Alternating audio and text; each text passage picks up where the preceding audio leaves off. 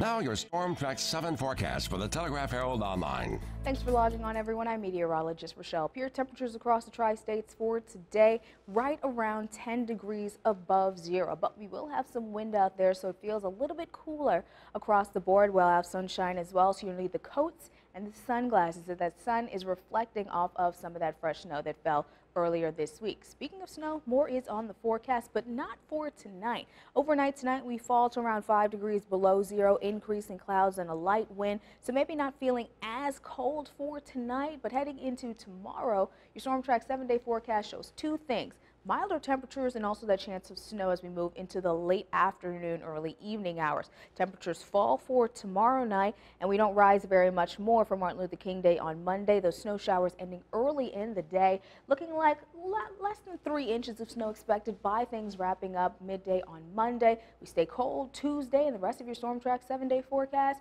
shows a warming trend into next weekend.